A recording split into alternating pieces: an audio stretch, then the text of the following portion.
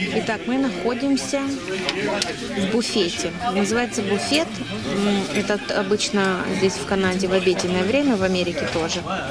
Какие-то 3-4 часа, когда ты приходишь и за определенную сумму ешь сколько хочешь. Вот, здесь мы платим в данном случае 15 долларов и кушаем сколько хотим суш. Мы решили так отпраздновать наши два года. Вот здесь они тебе подливают водичку всегда. Вот стоит джинджер на столе, э, васаби подносят. И вот здесь вот можно э, увидеть, э, если не знаешь, какие суши, то посмотреть, из чего они состоят и заказать в меню. Скоро покажем, что нам принесут. Заказала? Нет? Что можешь говорить? Это слишком высоко понял. Вот так где какого хуя? Ну, это стулья тогда видно. Так выглядит канадская канда в Канаде. Суши я в Канаде.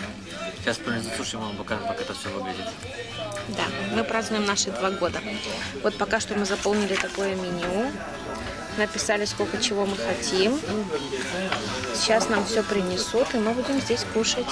Вот, вот дамплинг китайский с красной рыбой в, роты- в соусе тарьяки. Вот соломончик разный. Ну, тут мы уже начали кушать. В общем, все ями-ями.